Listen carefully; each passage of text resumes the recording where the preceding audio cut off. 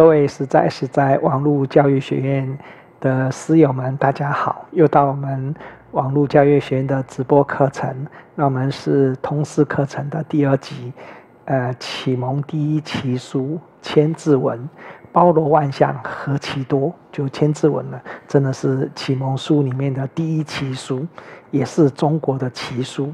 那这个里面的包罗万象啊，太多让人惊奇、感觉到奇妙的事情。那上面已经把它的由来甚奇、著作文奇。脉络探奇、色意多奇、引经据典奇的那五部分说了，就这个文到底是怎么来的？还有它的压的很多的韵脚是很美的诗文，四个字一句的诗文，乃至于它的脉络井然，含色的意理很多。引了一大堆的引经据典，哈，想可见作者他的知识背景、他的用功、他的才情，难怪在梁武帝时代，是梁武帝最欣赏的这个文学从事，好，那对梁武帝啊，在各方面的帮助是非常大的。后来梁武帝啊，提升他为这个国史的这个撰写者。那他因为太用功了，其实也没有活得很久，五十几岁就过世了，也是蛮可惜的。那我们接着要来说说啊，这《千字文》后面的五个奇，就是法书大家宋齐，就我们中国很多的法书大家争相来写来传颂啊，就是用写《千字文》呢来代表对《千字文》的赞叹啊歌颂。嗯，那这些法书大家写《千字文》，一来。千字文每一千个字里面每个字都不同，所以写书法的人如果来用千写千字文呢，他可以写很多不同的中国字。二来千字文呢，不是杂乱无章的，是一篇美好的佳文，好，对于我们这个人生呢有很大的启发，也丰富了我们人生很多的知识。待会我们可以慢慢的说。那到底有哪些法书的大家呢？首先要说的就是智勇禅师。一般来讲，王羲之的永字八法哈，要靠它来流通哈。真正我们一般说王羲之的永字八法，真正流通的就是智勇禅师。智勇禅师得到王羲之的《兰亭集序》，退到这个云门寺的时候，认真临摹临写他二十年，所以他对王羲之的行书，他是领悟于心。那他笔写坏的丢出去的那个，可以叫做退笔种，就好像一个坟墓这么高，都他写过的笔。你看他用功的程度啊，人家真的古人啊，真的用功的程度是我们现在人难以想象。我们大概因为现在这个资讯发达，大家在手机上浏览这些知识很快，可是那个心神都不定的，没有专注力的，所以虽然大量的阅读哦，可是都没有入心。古人虽然得少为主，不如现代人，但古人能够用功、用功深入，而且用之于心。现代人没有办法，所以如何把古人的用功的精神，在这个时代里面，这个能够筛选好的资讯，在这个好的资讯里面呢，来加广自己的知识背景，来做人生很多的体悟，对世间呢多做了解。这现代这个时代人应该要有的反思。那接着我们来看第二个呢，就是草圣怀素他的千字文。我们一般说。狂草醉生，就写那个草书是狂草，醉生就喝醉了。槐树啊，唐朝那个槐树，它有所谓大草千字文、小草千字文。唐朝里面很流行叫做颠章狂树，颠章啊，就是讲那个疯疯癫癫的那个章序。狂就是狂人槐树，那槐树出家哈，其实他写这个草书里面，其实就是这种心境的挥洒。有人说他写的草书啊，就像天上下大雨一样，这个挥洒自如哈，让人叹为观止。那我们故宫博物院有槐树的字数帖，那真的就是呃龙腾虎跃，呃这个呃。啊，行云流水。这个人家说赞叹苏东坡的文章啊，叫做“常行于所当行，常止于不可不止”啊。关怀素的草书啊，也莫不如是。好，那第三个呢，就是欧阳询。欧阳询啊，我们唐朝书法的四大家，就是欧阳询、虞世南、褚遂良、薛稷啊。那欧阳询呢，他的这个不。刚开始啊，是是王羲之的那个行书，写到最后脱胎换骨，他不拘泥于王羲之的书法，呃，那他的这个不单是他的行书，他的楷书都非常好。其实他的像是很丑的哈，那他书法写到什么程度呢？他有一次路过那个晋朝的所晋的石碑哈。那这个他觉得很漂亮，他就看一看就走了，又起会回过头来再继续看，又走了，又不行，回头来再锁进晋朝书法家锁进的那个书法碑上住了三天，把它完全学会再走。你看他古人的用功就是这样的哈，就不学则已，一学必学的通达。那像我们国画也是一样，国画里面呢，比如说呃，像这个布局，用笔用墨哦，这个临摹传神，临摹什么叫临摹呢？就把你的你的线条、你的笔墨、你的布局、你的神韵全部学过来啊，那最后呢？变成我的神韵去表达，我可以脱胎换骨。像张大千画石涛的画，画董云的画，画巨然的画，都是这样的。嗯，那这个欧阳询呢，这个楷书写也写得非常的好。所以那个高句丽的人呢，出使到唐朝的时候，就问唐高宗，啊不问唐高祖，想要欧阳询的。这个楷书啊，那欧阳询呢？这个写你你注意看那个书法家哦，写书法其实不但是一种这个技法，或者是在练习文笔，更重要的是一种怡情养性。所以你看欧阳询呢，到八十五岁的时候才过世的哈，也算是一个高寿之人。那再来呢，第四个呢，就是宋徽宗赵佶。哦，宋徽宗啊，琴棋书画样样皆能。雪公老师说他样样皆能，就是有一样不能，就是不会做皇帝啊。所以宋朝到徽宗啊，徽钦二宗就亡了北宋。那他这个其实收集文物是很厉害的。呃，其实我们中国要感谢这些帝王收集文物。第一，宋徽宗就是很会收集文物，乾隆他也会收集文物。今天有台北的故宫哦，要不是乾隆收集文物，不可能有台北的故宫的。那这个宋徽宗里面，他的草书。好，还有他的瘦金体，像我们故宫里面的瘦金体，那真的宋徽宗写的会啊。瘦金体就是书法里面拿掉肉剩下骨的那个书法。那他宋徽宗有那个草书千字文，还有呢，就是赵孟頫的真草千字文。赵孟頫是宋太祖赵匡胤的后代，后来在元朝做官呢。其实大家背后说他很多哈，其实他这个人是蛮忍辱负重的。那他在。这个元朝时期啊，他立了很多的制度，其实对汉人是很大的帮助。他很有名的《鹊华秋色图》啊，其实在故宫是镇院之宝。我们雪庐老人，我的老师啊，李炳南老教授啊。这个来台湾的时候思乡心切，所以看了赵孟頫的《鹊华秋色图》的那个复制本啊，也写了很多首诗在上面。那乾隆啊，呃，喜欢出游山玩水，到了这个济南的时候，还叫人快马骑啊，到了北京，把赵孟頫的《鹊华秋色图》拿来对对。乾隆来对对这个雀山华不珠山的景色，那赵孟頫曾经有个妙言事迹啊，我们这次在台北的这个书法展，庄严先生的书法展呢，那个妙言事迹啊，就赵孟頫的行书，写那个妙言四，啊，记录妙言四的那个行书写得非常好。庄严先生临摹了一个半月，也得到赵孟頫的精髓，哈，赵孟頫真的是一个大家。再来呢，就是文征明的行书千字文。文征明呢，在明朝的四大家，就是沈周、文征明、唐伯虎、裘英啊。那文征明啊，其实后面的成就是不输给神州的，这其实是吴派里面很重要的掌门人。好，那还有呢，就是庄严先生的瘦金体的千字文，那更奇特。庄严先生呢是台北故宫的副院长，他曾经在大陆民国十三年从北京大学的哲学系啊到故宫去上班，一直到一九八零年从故宫退休啊，在故宫将近半世纪，但他的文学涵养，包括他的书法、行书、楷书、隶书、篆书、草书。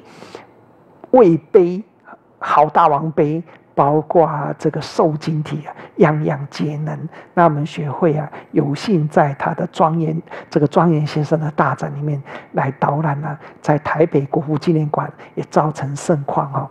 那庄严先生的那个受经体的签字文呢，也借着签字文来表达受经体的写法，也表达他个人的心境啊。所以以上啊，是这些法书大家。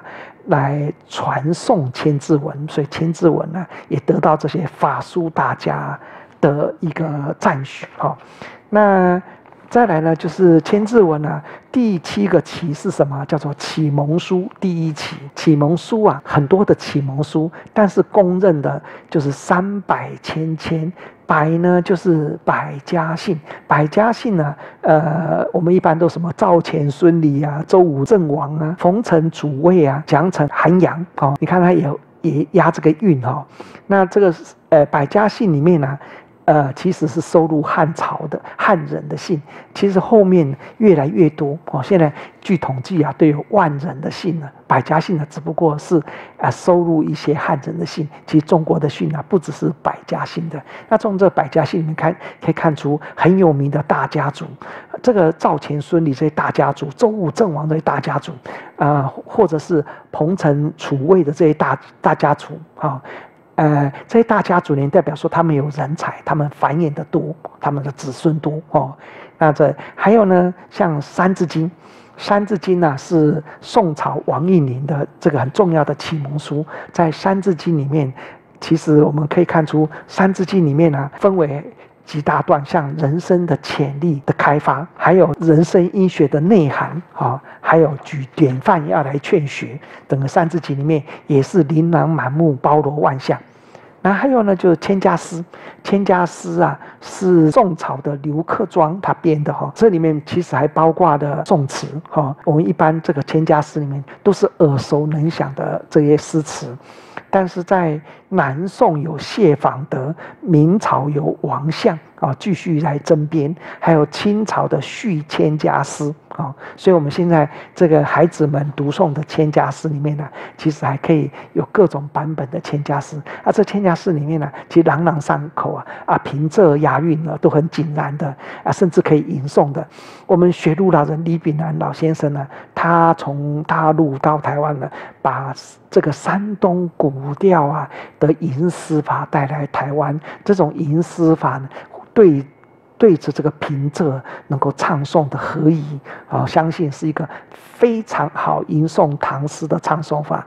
那我相信各地来办这个启蒙班呢，办儿童夏令营，如果能够对这个诗词有一番的吟咏，有一番的了解，有一番的解读，并且配合着自然呢，有一番的赏析啊，我相信是一个美好的启蒙的课程。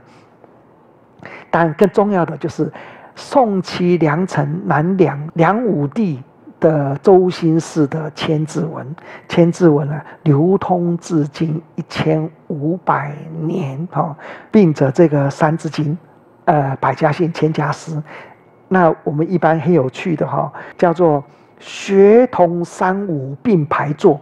天地玄黄含一年，就讲到千字文了。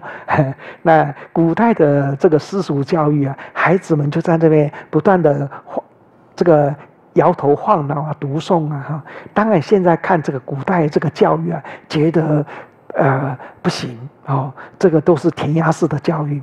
可是古代那个教育啊，他把书本读诵的熟的时候，他能够。运用出来，而且古代的教育啊，也能培养孩子的专心。当然，把古代的教育方法拿到现代是不行的。但精神上，如何培养孩子的专注力，如何培养孩子的文学素养，尤其在人工智慧时代来临的时候，有如何培养孩子的鉴赏力、文学的素养，这也是非常重要的。那千字文第八个期呢，叫做流通运用期。那流通运用期里面，它怎么个起法呢？比如说，在外国汉字啊初级读本里面，它可以认识很多的中国汉字，特别是韩国，它就有那个千字文的读诵本啊。那当然，日本呢是《论语》比较多啊。我们到日本去的时候，发觉到，哎，他们的论对《论语》是很欣赏的、很接受的。他们的首相说让《论语》来打造日本的国家啊，可可见外国都很重视中国的文化，包括他们的。企业啊，松下新之助的企业，这个这些大企业家，早期的企业家都懂得用《论语》来治这个企业。那第二个呢，就是明清科举贡院的好色，什么天地玄黄，比如说这个考生呢，在这个考场里面一个小房间呢，他他按照这个天地玄黄、宇宙洪荒这样编号嘛，啊，那当然可以编出一千件了，千字文就可以编出一千件了。那第三个呢？像我们台湾的那个兵籍号码，它就是用千字来编的。哎，那北部是天，中部是地，南部是玄，东部是黄。哈，那北。台北市是玉，高雄市是昼。那我当时我们台湾都要当兵的，像我也要当兵的。我那时候的兵籍号码是选 A 三零零七四四，这个选 A 就代表我是南部的。哎，这个这这也是很兵籍号码哈，用千字文来编。啊，第四个呢是清朝彩票的编号，那个彩票就像现代的。乐透大家乐彩券，在清朝开始就是彩票，它也用千字文来来编号。那第五个呢，就是故宫宫殿的编号。我当时在故宫上班的时候，比如说，哎，这个会看到一些编号啊，比如说，哎，这个这个东西啊是天天，然后什么号码的，或者是这个是地什么号码，这是铝什么号码，这金什么号码的，原来告诉你这个文物是什么从什么宫出来的啊？那它就是从这个。千字文来编，所以你你就可以从这个文物的编号里面，你就知道说它是什么，它应该隶属于什么宫。第九个期呢，就是我们这次夏令营活动啊，叫做文字游戏活动期哈，设计千字文的活动哦，有说书人，有这个千字文的过招啊等等。那千字文呢，一定带给小朋友很多的很多的震撼啊和而且从这里面去了解这个很多的历史的典故，而且从千字文去了解自然啊，了解地理，了各种的了解，所以呃。外面的注解里面呢，他把千字文啊，这个来用很多的故事来讲千字文，所以叫做故事分多类期哈，用两百多个故事啊，两百个故事来讲千字文。那像历史里面啊，比如我们讲到说什么推位让国有于陶唐，这都这都可以用历故历史故事去讲的，或者讲到说遐迩一体。率兵归王，那就讲了周文王。周文王这个人呢，真的是一体的，就是万物一体的思想。大家呢，呃，都率这个诸侯们呢，都归向于周文王啊，或者是叫做存以甘棠，去而益勇。存以甘棠，就是说周昭公啊，在甘棠树下，那为老百姓解纷扰。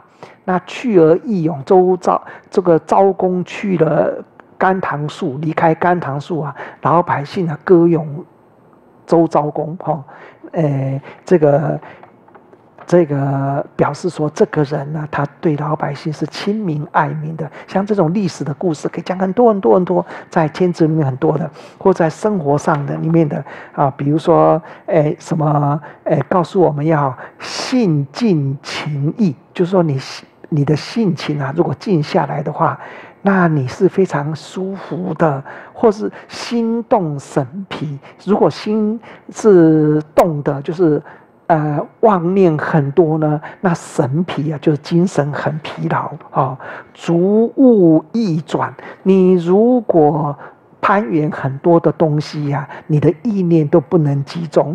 好，那你必须怎么样呢？你必须要坚持雅操，坚持雅操，就要把你美好的操守啊，能够坚持美好的信念，坚持。那你这个人呢，就是一个很有为的人哦。好，那在自然当中啊，比如说讲到日月盈仄，讲到层数列张，讲到天上的星宿啊，讲到日月的变化啊，寒来暑往，讲到气候，云腾致雨，讲到这个这个刮风下雨，讲到露结为霜，讲到秋秋冬的变化，都可以举很多的故事来说。那在民间里面呢，也可以举很多的故事，什么农业的、渔业的、矿业的各种技能的。那神话的故事，什么天地玄黄、宇宙洪荒，都可以讲到盘古开天了，讲到共工氏的那些典故，都蛮有趣的。那讲到地理的部分呢，比如说九州啊、五域啊，好，或者是哎天险啊这些地理的常识啊，故事都可以说的。嗯，还有讲到寓言，那讲到寓言里面，特别像庄子里面他举那个故事啊，好，比如说讲到游鲲独运啊，就讲到那个鲲鱼变成大鹏鸟，或者是军桥任调，军桥就是讲到马军，马军呐是魏国。魏国的那个马军哦，他真的是一个工巧民。我们一般有所谓的武民，有什么工巧民、一方民、生民、内民、阴民。那马军真的是工巧民，他能够改良农业器具哦，还有呢，能够这个呃改良那个军事武器。诸葛亮的连弩啊，他发展出比诸葛亮那个连弩就连环射箭，他改良的比诸葛亮更好，甚至他会用那个木人创造那个木人，那个木人可以跳舞，就像我们现在的人工智慧机器人一样，哎，太厉害了。所以那个呃，在这个故事里面呢，可以叫做。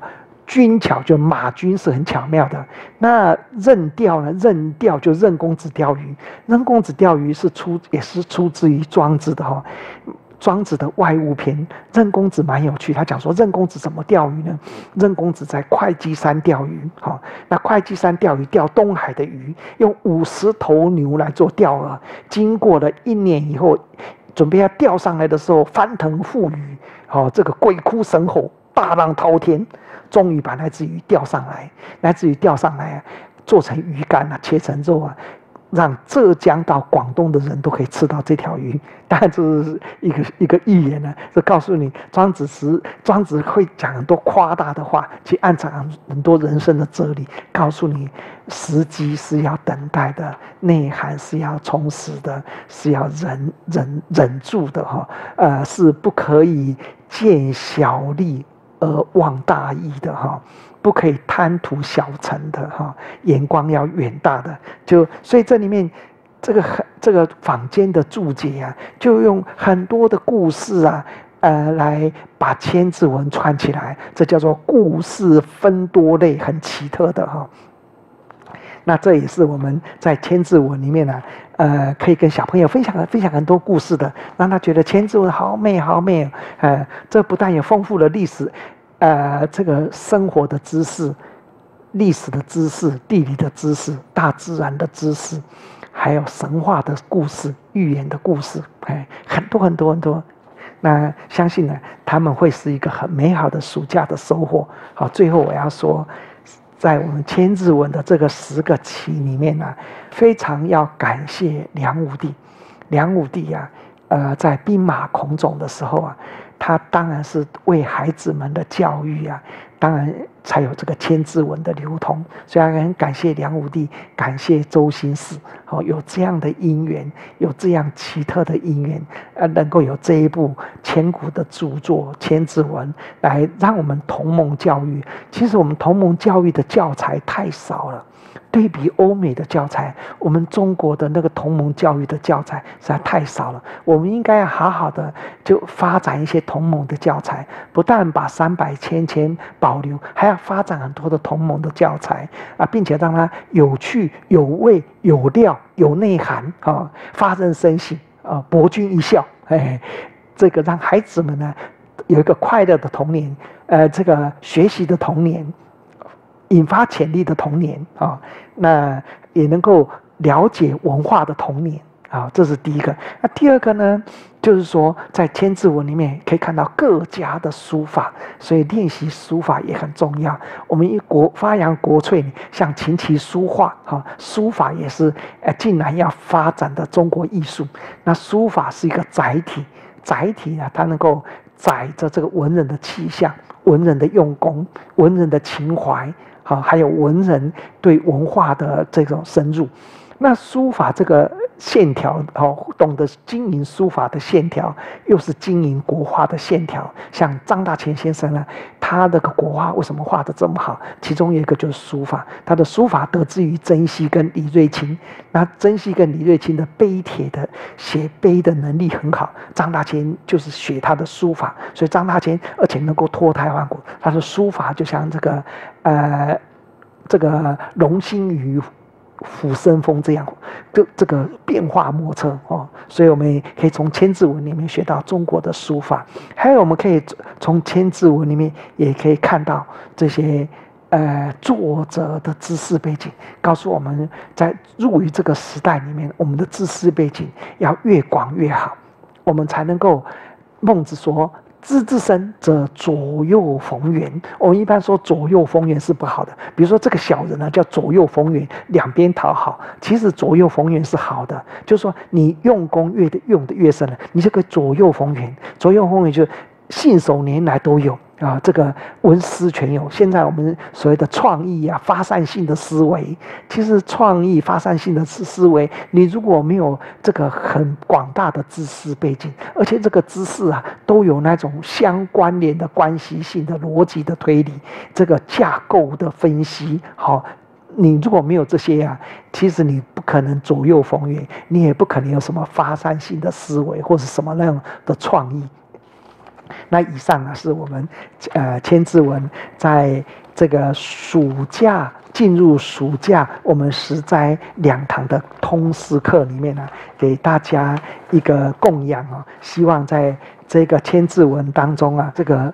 呃，推荐千字文当中啊，给大家有另一类的启发。好，那希望大家呃这两堂的课程呢，有一点点的收获哈。这是呃我在这边小小的期望，祝大家有个美好的暑假。在这暑假里面呢，呃赏赏心悦目啊，带着孩子们出去玩啊，在家用功啊，或者找朋友三五聚会啊，相信你有这些呃生活的内涵、文学的素养、知识的背景，你一定会过着。呃，又快乐又舒服又美妙的暑假，呃，那么实在的通识课程这两堂课到这里，我们下学期再见，谢谢大家收看，再会。